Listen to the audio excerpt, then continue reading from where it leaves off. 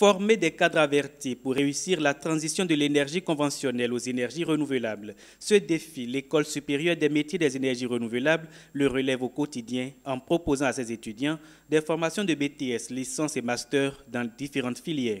C'est justement le conseil scientifique de l'école se réunit. C'est pour évaluer les performances académiques réalisées au cours de cette année et tracer les sillons du succès pour celles qui s'annoncent. La présente réunion du conseil scientifique et pédagogique à laquelle vous êtes conviés aura essentiellement à faire le point de la mise en œuvre des recommandations formulées au cours de la séance précédente, à se prononcer sur le rapport pédagogique des deux premiers semestres de l'année 2016, ainsi que sur celui de la direction générale pour la période allant de janvier à août 2016, et enfin à examiner la vision stratégique et les perspectives de l'ESMER telles qu'elles sont envisagées par le conseil d'administration.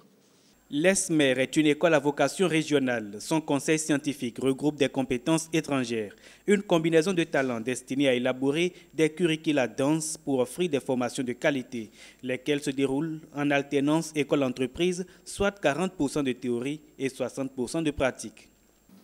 Nous avons parmi nous des chefs d'entreprise qui sont de premier rang dans leur domaine. Je n'ai rien à démontrer. Allez googler euh, Groupe Azemi, euh, et vous verrez qu'ils sont excellents dans leur domaine. Moi-même, j'ai un cursus qui est plutôt issu du monde professionnel, donc j'ai plutôt une vision pragmatique et une vision de comment intégrer et comment développer en fait les, les technologies dans le cadre en fait des projets qui pourraient être initiés euh, dans le développement durable en Afrique. La tenue de cette deuxième session est pour l'administration un symbole de renouvellement d'engagement, engagement à faire de l'ESMER une école de référence.